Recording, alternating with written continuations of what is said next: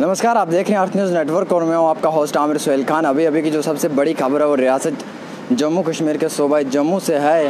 Are R S S معافی چاہتا ہوں، جو آر ایس پورا کے پورو ودھائک ڈاکٹر گگن بھگت کو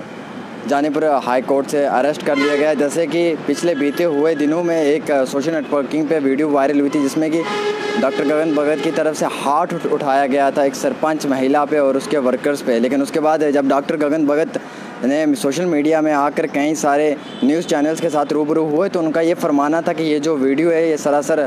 غلط ہے، یہ ایڈٹ کی ہوئی ہے۔ لیکن اس کے بعد انہیں اس بات کا جواب تو دینا تھا، لیکن وہ اس بات کا جواب نہ دے پائے۔ اور جموں کشمیر سرپنچ کمیونٹی کی طرف سے اس کے خلاف لگاتار احتجاج کیا گیا، پروٹیسٹ کیا گیا اور اسی پروٹیسٹ کو لے کر چلتے ہوئے آج یہ فیصلہ لیا گیا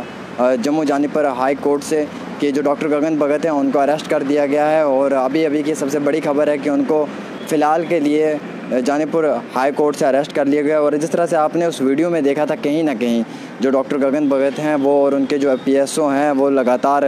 غصے میں آ کر اپنے آپ کو نہ رکاتے ہوئے انہوں نے جو سرپنچ مہیلا ہیں، ان کے ساتھ بدتمیزی بھی کی اور ان کے جو ورکر ہیں، ان پہ ہاتھ اٹھانے کی بھی کوشش کی۔ لیکن وہیں دوسری اور وہ یہ بھول چکے تھے کہ قانون اور انصاف کے جو ہاتھ ہوتے ہیں، وہ ہر ایک ایم ایل اے اور ہر ایک منسٹر سے بڑے ہوتے ہیں۔ جس کے چلتے ہوئے آج قانون نے ان پہ ہاتھ مارا اور ان کو اپنی اصلی اصلیت بتا دی اور اسی کو لے کر چلتے ہوئے ان کو آج جموں جانی پور ہائی کورٹ سے اریسٹ کر دیا گیا یہ سب سے بڑی خبر ہے فی الحال کہ جموں سے کہ ڈاکٹر گگن بھگت کو اریسٹ کر لیا گیا ہے۔ اس مہیلا کے کہنے پہ ان کا آروپ لگایا گیا تھا۔ کہ ڈاکٹر گاگن بھگت کی طرف سے بدتمیزی کی گئی تھی اور انہوں نے ہاتھ اٹھایا تھا، جس کے جس کو لے کر چلتے ہوئے آج ان کو اریسٹ کیا گیا ہے، لیکن وہیں دوسری اور اگر ڈاکٹر گاگن بھگت کی بات کی جائے تو انہوں نے اس سنوائی کے لیے تین چار میڈیا نیوز چینل سے وہ روبرو ہوئے تھے اور انہوں نے اپنے انٹرویوز میں لگاتار کہا تھا کہ ایسا کچھ نہیں، یہ سراسر ایڈٹ ویڈیو ہے، ہماری طرف سے ایسا کچھ بھی نہیں ہوا، بلکہ میں نے ان کے جو ورکرز تھے وہ غصے میں تھے، ان کی طرف سے مجھ پہ ہاتھ اٹھایا گیا تھا۔ میں اسی سب کو ڈیفینڈ کرنے کے لیے، میں نے اپنی طرف سے جان بچانے کے لیے ان کے ان کی طرف ایک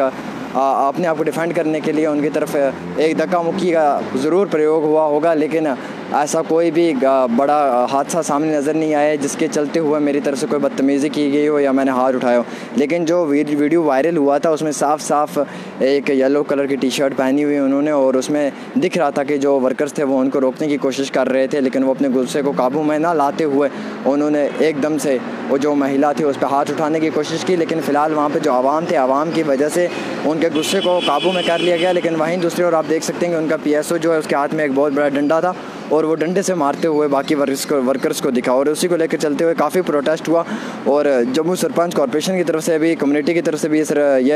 ایک پروٹیسٹ کیا گیا۔ اور اسی کے پریشر کو لے کر چلتے ہوئے آج جموں یعنی پر ہائی کورٹ سے ان کو اریسٹ کر دیا گیا۔ یہ سب سے بڑی خبر ہے۔ اسی کو لے کر چلتی ہوئی اگر نہیں تازہ اپڈیٹ پہنچی تو میں آپ تک پہنچاؤں گا۔ آپ دیکھ رہے ہیں earth news network video journalist Yasir Chauhan کے ساتھ، عامر شلخان جموں۔